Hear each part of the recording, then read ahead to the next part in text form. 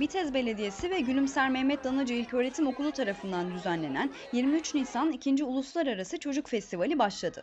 Festival için Bulgaristan, Macaristan, Kuzey Kıbrıs Türk Cumhuriyeti, Yunanistan'ın Kos Adası ve Makedonya'dan Bitez'e gelen öğrenciler Gülümser Mehmet Danacı İlköğretim Okulu bahçesinde arkadaşları ve Bitez Belediye Başkanı Remzi Güngör tarafından karşılandı.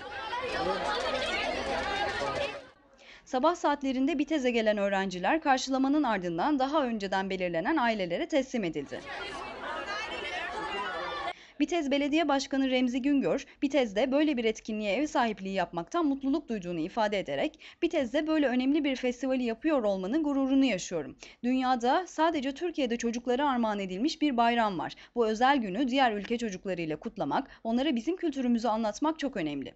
Etkinliklerimize herkesi davet ediyorum. Bu coşkuyu, mutluluğu hep birlikte yaşayalım dedi.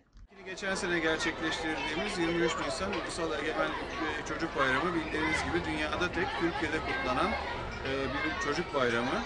E, Bu amaçla da geçen sene komşu ülkelerden, 6 ülkeden çağırdığımız talebeler, e, 12-15 yaş arasındaki talebeler ve folklor grupları geçen sene gelmişlerdi. Bu sene de dün ve bugün Bitez'e geldiler, kendilerini karşıladık. Aşağı yukarı 200'e yakın talebe şu anda e, okulumuzun e, velileri ve öğrencileri tarafından, arkadaşları tarafından alınarak evlere götürülüyorlar, götürüyorlar, yerleşiyorlar. Yarından itibaren açılış ve 23 Nisan, 24 Nisan'a kadar kendilerine yoğun bir program var.